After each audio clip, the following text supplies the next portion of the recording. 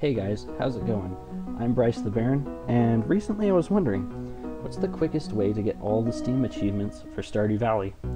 Well, the answer is pretty simple mods.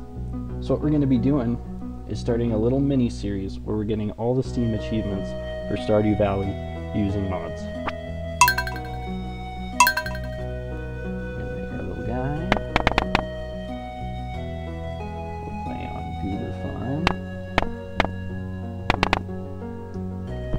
Favorite thing? You know what it is.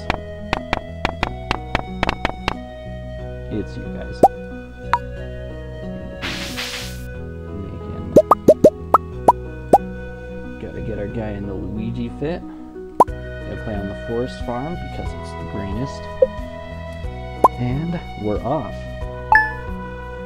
Alright, so here we are on the farm. First, I'm going to show you guys the couple of mods that we're going to be using. The first mod that we're going to be using is the CJB item spawner. This is going to be helpful in letting us spawn in any item that we need. Um, so that's going to be pretty helpful.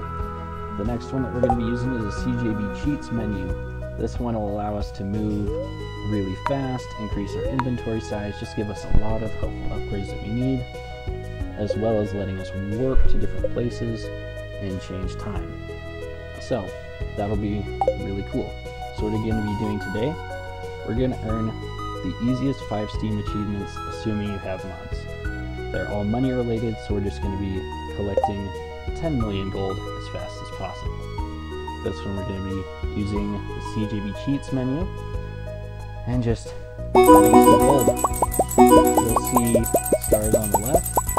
Those are in-game achievements that are the same as Steam achievements. So we're just going to be getting all five of those as quick as we can.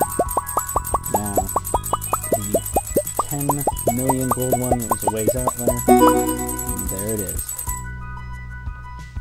Wow, we got to that much quicker than I assumed.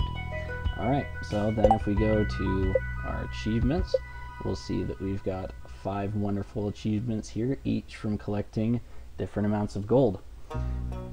And you can see right there, we got our 10 million and a bit. So, what we're going to be doing in this series is collecting all 40 Steam achievements. We're going to be using mods to do it as quick as possible. We're going to be using different mods here and there, just to spice things up, you know, make it more interesting. And if you're at all interested in that, make sure you like and subscribe to be able to see the next videos and follow along with the series. Thanks for watching. Hey guys, post-production Bryce here. I just want to say that when I started this challenge, I completely underestimated how hard it would be. Some of the Steam achievements involve killing thousands of enemies or crafting every single item in the game. So it's definitely going to get more interesting than just spawning a little bit of money. Alright, so make sure you stick around for all those adventures.